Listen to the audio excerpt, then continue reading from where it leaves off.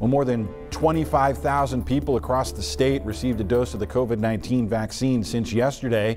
15,000 of those people actually got their second dose, which means there are close to 600,000 people in Arkansas who are fully vaccinated against the virus. And looking at this chart, you'll see we are so close to having a quarter of the state's 16 and older population fully immunized. About 60% of the state's population remains unvaccinated this evening, but that number continues to slowly go down every day as we begin the fifth month of vaccinating people here in the state. And if you're looking for more information about those vaccines or how to set up an appointment, just text the word vaccine to 501 376 1111 and we will send you the links to several helpful articles. But as shots go out and cases continue to fall in our schools, so called back to normal is close at hand when we go back to school. And in Conway, they're planning to have everyone back in person. THV 11's Mercedes McKay explains why virtual options are off the table. Several schools across central Arkansas have announced that they will be offering in-person learning this fall, as well as a virtual academy.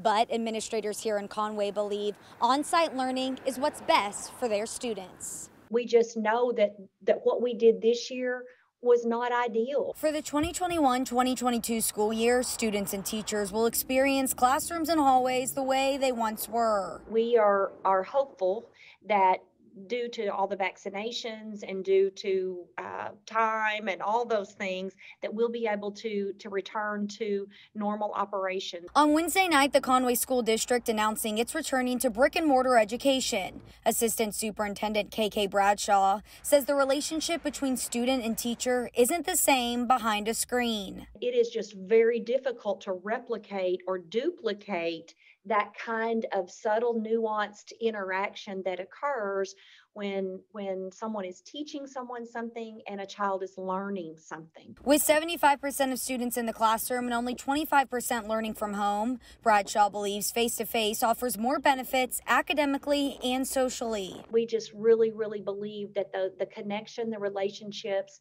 and and that interaction is just so powerful for for kids to help make them successful. That benefit of being in the classroom is something Lakita Golston says she's seen firsthand with her kids. When my oldest is having to quarantine, her teachers have reached out like, hey, you know, I can tell that she's kind of struggling and this and that. But then when she's actually on site, I don't get any of those complaints at all. But the idea of not having any type of virtual option worries the mother of two. For some families, um, I don't think that it's really fair to kind of just switch them out like that. For those who want that virtual option, administrators are sharing other options that are available to them, but they are outside of the school district. In Conway, Mercedes McKay, THV 11 News. Now, Mercedes alluded to those virtual academies that other districts are offering next year, but Bradshaw says staffing is too complicated in Conway and Cabot at this point. She says it's hard to staff for a school when you don't know how many kids are actually coming.